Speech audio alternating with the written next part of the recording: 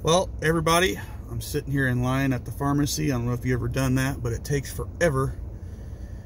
Anyway, I want to follow up on the Avenge X and the Avenger rifles because guys, they are they are ripping you off so bad on these rifles. It's hysterical. I mean, and I, I tell it how it is. I don't care what people think about me. I don't care what they say in the comments, which the comments on the videos are funny too.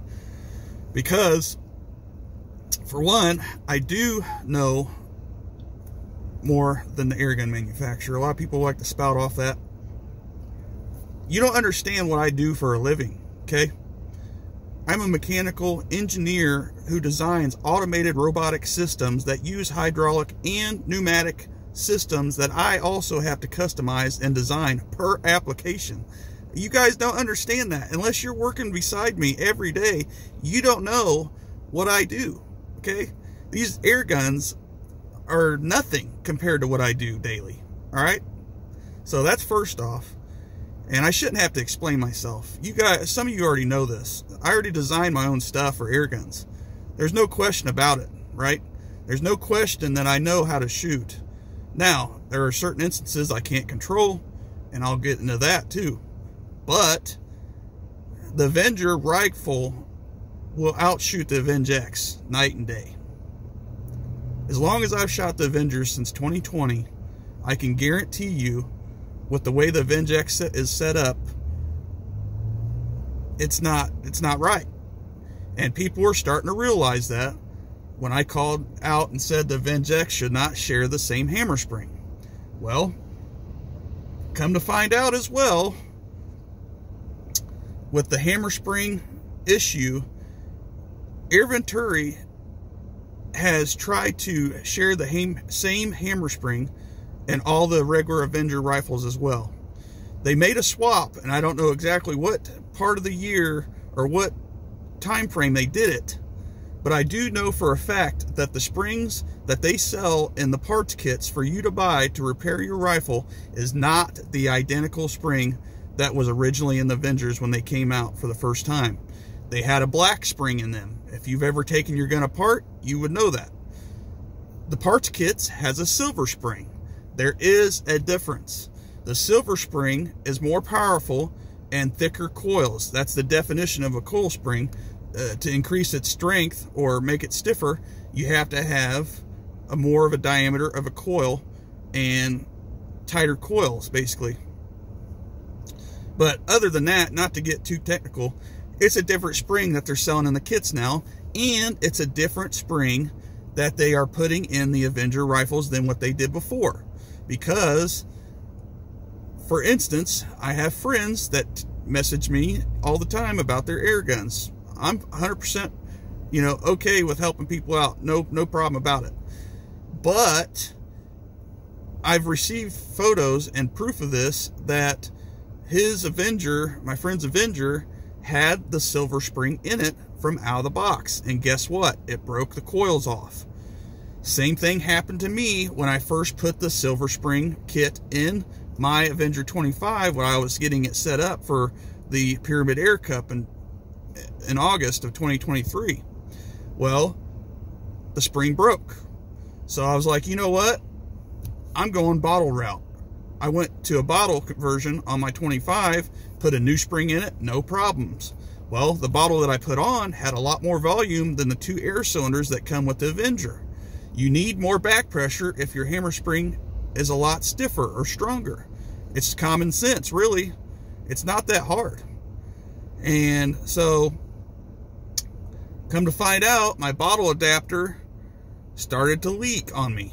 And it happened right before competition, so I had to switch back to the original air cylinders in the gun right before the competition.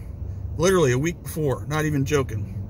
And so that's why the gun did not like to shoot that well. I tried to get as close as possible the way it was shooting before because it just doesn't make any sense uh, that it shot so great and then all of a sudden I get to competition and it doesn't shoot that well. That's not how it works. Like I mentioned in the video about the results, I said it was partially my fault, it was partially the gun's fault, and I did have interference. So, you know, a lot of people like to put words in my mouth, which is not the truth. And try to take away from my videos that is not the truth and, you know, spread lies and rumors about me. It's hysterical. But then again, let's get back onto the Avenge X guns, guys, because people are having a lot of trouble with their 25 caliber Avenge X. Why?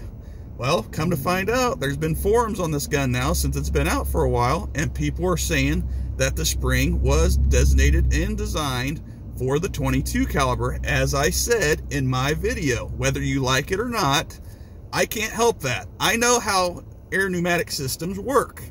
Again, I'm an engineer. I do know as much, if not more, than the designers of the air guns do. It's not that complicated if you're in the business. Now, what I am is an outsider seeing it from an engineer's perspective and how they screwed you guys. I don't know what to tell you. It's the truth. Whether you like me or hate me, I don't really care.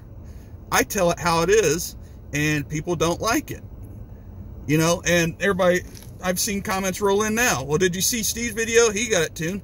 Good for Steve, right? Steve does put out good videos. I will admit they are they're great. But here's the thing, guys. He said the exact same thing I said, word for word, at the beginning of his video about flow. Hammer spring, flow, pressure, pellet weight, you name it. He said exactly the same thing. You guys aren't clicking here. Just because it's me that I said it, that's all it is. I know. I'm that smart. You guys don't understand that.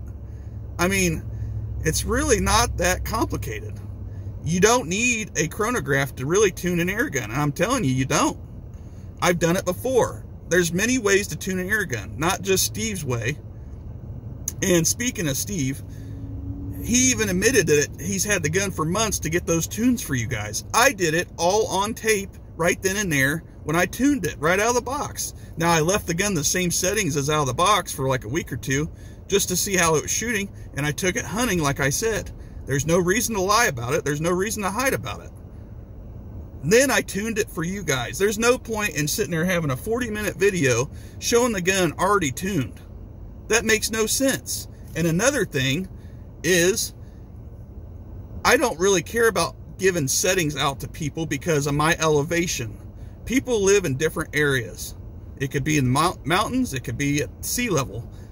I don't care about giving people out giving information out to people to set their guns up because it's going to be off.